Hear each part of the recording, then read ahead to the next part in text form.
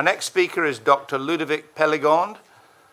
Ludovic graduated from uh, Maisons-Alfort in 2001 and completed a small animal internal medicine internship and then completed uh, a residency in anesthesia at the Royal Veterinary College in London where he became uh, a diplomate of the European College of Veterinary Anesthesia, Anesthesia and Analgesia.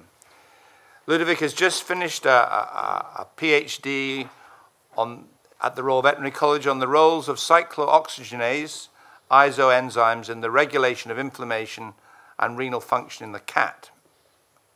He's now a, a clinical research fellow at the Royal Veterinary College and is developing programs in pharmacology, anesthesia, and in pain management. Ludovic is going to present to us this morning the efficacy of non-steroidal anti-inflammatory drugs in analgesia versus their action as an anti-inflammatory agent. Thank you very much. Thank you, Chairman. Uh, I'm very pleased to be invited here to, to speak to all of you and uh, and maybe to contribute in the debate. Um, so as uh, as um, the introduction said, I, I, had a chance to to work in London in the RVC where I actually worked under the supervision of Peter Lees, and uh, I've uh, discovered the models he developed uh, along the last 20 or 30 years, and Peter is still active in that field. Um, today I'm going to speak about the efficacy of NSAID analgesia versus their anti-inflammatory effects, comparing two experimental approaches.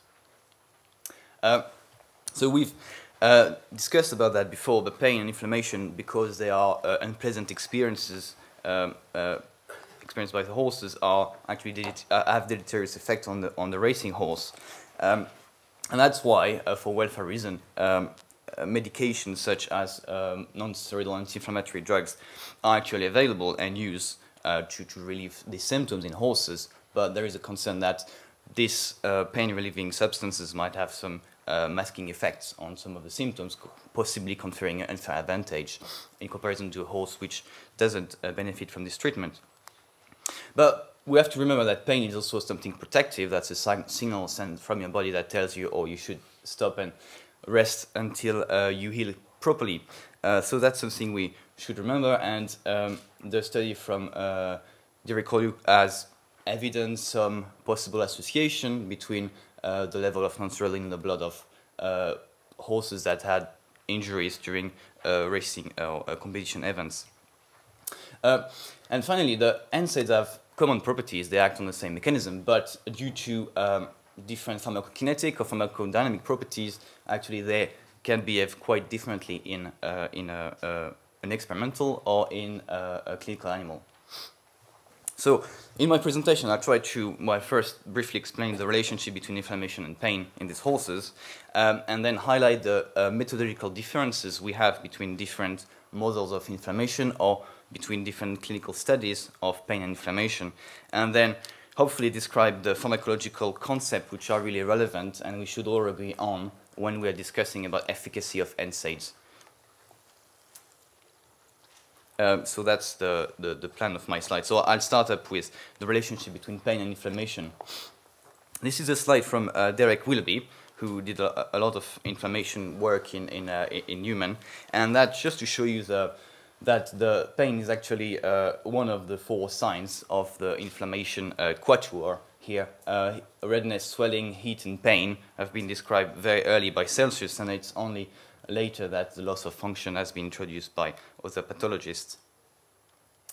Um, and we've seen that slide before as well. Due to uh, tissue damage, uh, arachidonic acid can be released in tissue, and arachidonic acid is actually the substrate uh, for cyclooxygenase, to uh, secrete or to, to produce a variety of uh, prostanoids which have different functions. And here that's the cyclooxygenase 1 enzyme, which is constitutively expressed and have some housekeeping roles. And you can see that it's actually important to uh, actually produce PGI2 and prostacyclin to protect the stomach in case of non-steroidal administration, uh, to protect the stomach. Uh, they have uh, a, a, regulatory effect in the kidney to maintain renal perfusion and renal blood flow and also there are some uh, roles in coagulation and, and uh, for example, cyclooxygenase on the platelet is involved in the thromboxane A2 generation in, a, in that, that, ensures clotting and platelet aggregation. So that's an important function. Um, and here, the COX-2 uh, isoenzyme is the one which is expressed in various conditions uh, and by various mediators, but that's the one which is going to be expressed when you've got uh, inflammation and pain. And uh, that uh, isoenzyme produces PGE2 at sites of inflammation, and that's the one which is uh, associated with pain in these models. So classic NSAIDs, in, in equine medicine, most of the NSAIDs are actually either non-selective or very mildly selective for uh, the cyclooxygenase 2 uh, up to uh, recently, so they would block all these pathways here. Uh, and recently some uh, work has been done with new COX-2 selective inhibitors and the, the, the, theoretical benefits of this one is that they would just inhibit the inflammatory component and uh, leave untouched the physiologi physiological regulation. that results from in vivo, but we need more we need these drugs to be tested in inflammatory models to, to um, verify that it works in, vitro, in vivo. Um, so we, we've seen that uh, prostaglandins are actually involved in the inflamed tissue in order to uh, sensitize the nociceptors uh, to the action of uh, painful stimulus such as histamine, bradykinin, protons, for example. But they also have a central role, uh, which uh, actually happens in the dorsal horn of the spinal cord. That's where the, the nerve involved in pain feeling are being um, uh, integrated in the spinal cord. And here there might be, uh, there could be a, a, degree of COX-2 induction here. And if that happens, um, there is a, a, central sensitization phenomenon that can that can occur, and we, that's where we've got gene expression and neuroplasticity happens, and that's where it becomes more difficult to, to manage an animal which has been uh, exposed to pain for, for a long time. So they act both on these two sites, either in the periphery, uh, where we've got the pain signal transduction, but also at the spinal cord level, uh, at the, when, when the, the pain signal, the pain, the nociceptive in, impulse is uh, integrated. And they might also have some effect as antipyretics uh, central in the thalamus. Mm. Right, so now I'm just going to the second approach, uh, second part of the talk, where I'm going to discuss the traditional approach uh, versus the PKPD approach that have been uh, championed by, by Peter Lees and Pierre-Louis Toutain and some other researchers. Um, so if you want to find the right dose for a horse, you, you're going to uh, design that kind of trial where uh, you uh, are going to expose the horses to different doses in, by increasing, um, increasing um, exposing them to increasing doses, and then you're going to, to find a dose which is significant, gives significantly higher uh, pain relief or, or anti-inflammatory effect from the subsequent doses. And here in this case, the dose, second dose is significantly better than the first dose, and the third dose, which is higher, is not significantly better than second dose. Therefore, you're going to choose the second dose as uh, as the the one you would like to you would like to use. The the downfall of this approach is that between these two doses, uh, there is no extrapolation you can do because you're just looking at doses and you don't have access to plasma concentration. And that's how you would conduct as well clinical trials comparing uh, different drugs, comparing their efficacy or comparing their that the new drug on the market is actually non-inferior to uh, the one which has been used for several years. But the problem is, is, is a dose really the best predictor of the effects? Um, and the answer is actually no. If you look only at the dose, which would relieve 50% of the animals or 50% of the symptoms, um, it's actually a hybrid parameter which depends on pharmacokinetics um, considerations such as plasma clearance and bioavailability, bioavailability and then the EC50, which is the, the concentration that would uh, be associated with 50% of relief. And it's, it's, it's really important to look at these bioavailability factors because depending on the route of administration, depending on um, whether you administer the drug on a starved or animal which has received uh, a meal, depending on the route of administration, that would also change. Uh, and the clearance might be affected by several considerations such as age or exercise level. And most of the pharmacokinetic study are actually done in horses which are at rest. So that, that's that can be that can influence um, this concept here. So that's why we tend to now look at the plasma concentration in order to try to correlate that with the effects. So that's uh, this one is an important slide that we, we need to distinguish between um, the effect of the NSAIDs we're using. So the effect is the, the direct effect on the mechanism of action. They are COX inhibitors. Therefore, we're going to measure an inhibition of PG2 production in the site of inflammation. And this is a biomarker, and this is correlated with the clinical outcome, but this is something quite different. And there are models that describe that, and there are models that look at this response, and the response is actually more clinically relevant. Uh, it's, it would be either suppression of lameness, it would be uh, modification of stride length, and this is more directly applicable to um, somebody who would use um, the non-steroidal for that. But we need to have uh, uh, to consider the EC50s of the two responses or effects.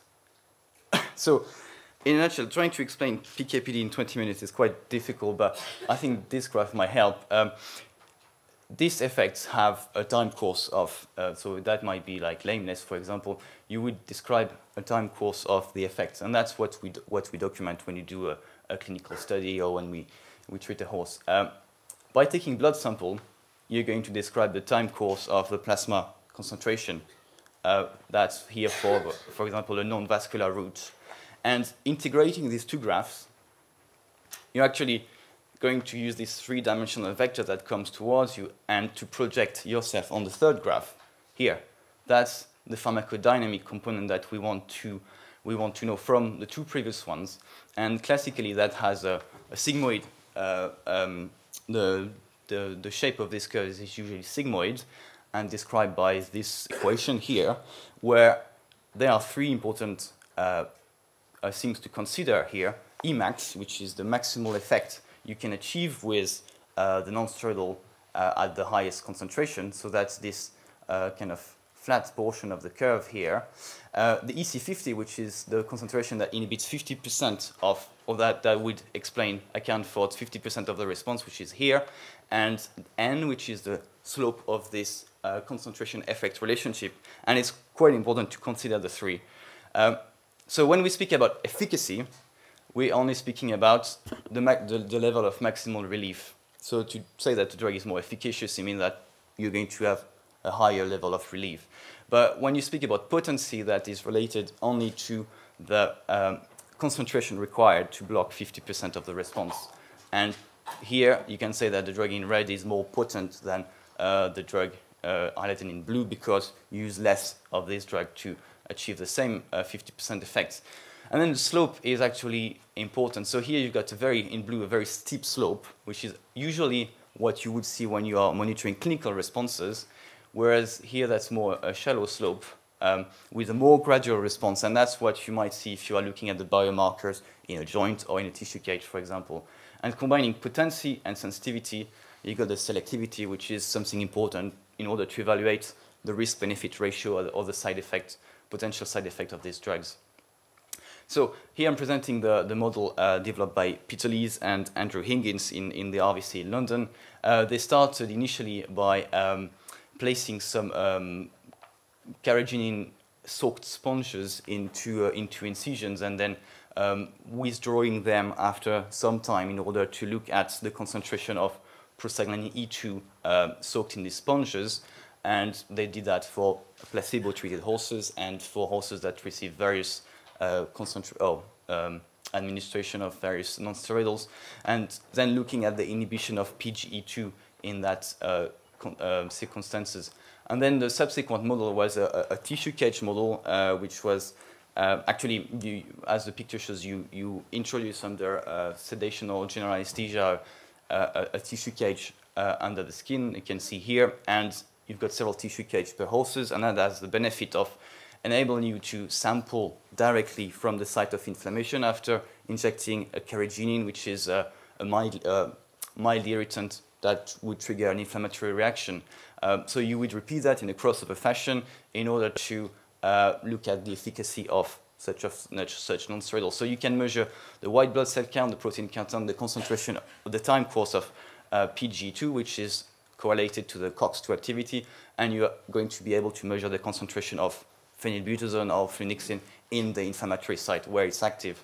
Uh, and in the serum, we look at the inhibition of serum thromboxane from the platelet, and that gives us an indication of uh, the inhibition of COX-1. Um, here, that's a slide that shows that uh, with uh, that's uh, ketoprofen concentration in the horse, actually the, the concentration de decreases very quickly. Uh, so that at well, nine, nine hours you can barely measure it anymore. Whereas in a tissue cage, that actually the nonsteroidal seems to be uh, stocked and, and, persisting for much longer than uh, in the plasma. And actually, if you look at the time course of inhibition of PGE2, this is the placebo in blue here, and this is the different ketoprofen enantiomers. It seems that the, the maximal suppression of PGE2 uh, occurs within 9 to 10 hours, where actually there is barely any, any drug in the plasma. The drug is actually uh, detectable in, in the site of inflammation. So there seems to be a kind of mismatch between plasma concentration and the effect at the site of inflammation. And that's a very important concept that we have to agree on as well. It's this concept of negative hysteresis. If you give the drug by a, a non-intravenous route, the drug would be absorbed, and then you would have an increase of its concentration in blood, uh, and um, at the same time an increase of the effect. But once the drug starts to decrease its concentration in blood, you might reach the peak effect as illustrated in previous slides. Uh, and then after you come back to, uh, to um, uh, a low concentration and low analgesic effect. But that raises the question of if we detect uh, this concentration in the blood, it could correspond to the horse being in a situation, one, where you've got you on uprise to get maximal effect, or it could be in this situation where here where you actually are past the peak, um, the peak uh, clinical effect. Therefore, with only one blood sample, it's sometimes difficult to know where you are. This, this, um, this hysteresis can be explained by pharmacokinetic origin, whether you have to actively transport the drug in the site of inflammation or in the joint, and um, whether you have to generate an active metabolite, which is more active than the uh, parent compound. So that could be accounted by that, or that could be accounted by the fact that actually it takes time for a non-steroidal to inhibit the inflammatory response. And for some other drugs, for example, where you've got um, cascade and signal transduction, that might uh, be the, the cause for uh, hysteresis of pharmacodynamic origin. And you can tell me, well, that's, that's very good. That's, a clinical, that's a, an experimental model. The drug gets trapped in tissue cages. This is due to the geometry of the tissue cage. But no, actually, you find that hysteresis in um, experimental model of carpitis, and you'll find that as, as well in clinically uh, lame horses, which have been presented for lameness. And you would see that in an inflamed joint, uh, a drug such as um, this, this case, it's, it's ketoprofen would accumulate and uh, have a higher concentration than in plasma for a protracted amount of time. Um, so that hysteresis actually happens in, in clinical horses as well. So we should also take that into account. The other uh, model of pain that has been developed by various investigators, but Pierre-Louis uh, was the the, um, the one that used this model to uh, perform PKPD modeling is, a, is an arthritis model. Uh, so uh, taking a sun horse and injecting um, a Freund adjuvant uh, into a joint that would give a lameness for persisting for several weeks. And looking at uh, validated endpoints such as stride length, rest angle flexion, and skin temperature, there were the, in, in, in this study the, the, the, the endpoint, clinical endpoints which has the, the best um, metrological um, performance, the most reproducible, and using uh, plasma concentration in, in, association with the time course of the effect on these three parameters to look at, um, to try to define the PD um, for this, uh, these three uh, endpoints. Um, so here, if we look only at flunixin um, on the effect of stride length, on stride length, for example, you'll see that uh, there is a maximal effect that is attained here around eight hours, uh, whereas actually the flunixin is quite low in concentration already. So that illustrates this history, this phenomenon. Now, if you look at uh, phenylbutazone, uh, given at clinical doses, um, there is there is a, a, a, maximal effect reached by phenylbutazone here, which is lower than flunixin. So you can say that flunixin is more efficacious. Uh, but to say that flunixin is more potent than phenylbutazone, you need to look at the EC50s, which are symbolized here, uh, because the EC50 of phenylbutazone, if of flunixin is lower, then also you can say that flunixin is more potent, but not because of the difference in maximal effect.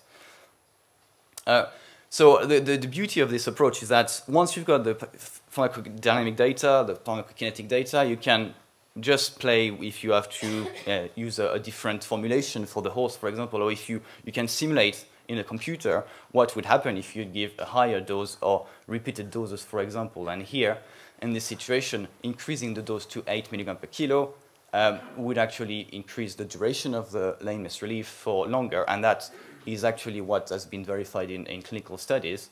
And that would what would happen if you give a, a, half dose, you would still probably have a, a maximal effect relief, but for much, a much shorter period of time.